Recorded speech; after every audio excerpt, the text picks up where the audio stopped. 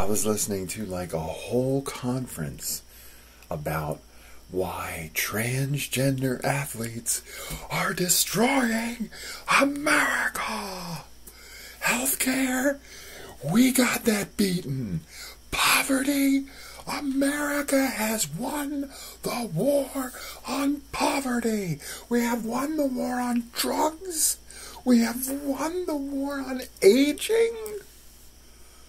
But transgender athletes?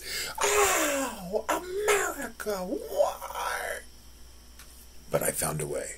I know, Toasty 2024. I'll even give you my solution now before I'm in the White House. That's what kind of candidate I am. The answer is golf. I know.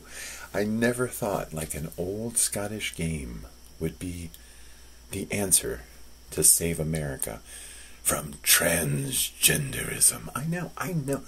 Dear God, the fact that a child would compete with another child and the game of golf would allow those children to compete at a level playing field regardless of who they are and regardless of their ability.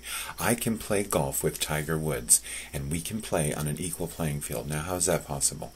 Physically, that individual is a rock he can dream better shots than I will ever be able to do.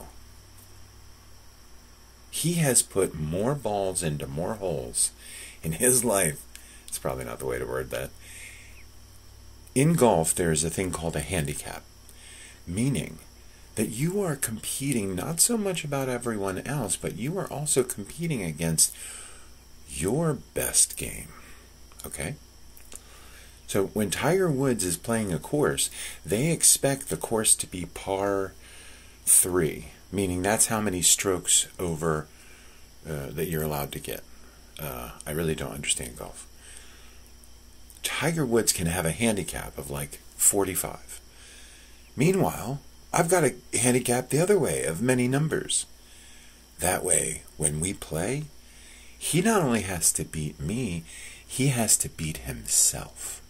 So in college athletics, we don't have to pit our children against each other like some kind of primal caveman regression uh, wet dream. We can have the children compete against themselves, which they'll be doing for the rest of their lives. And shouldn't we be teaching them the things they'll be doing for the rest of their lives? Let's update college sports, shall we? Let's make him human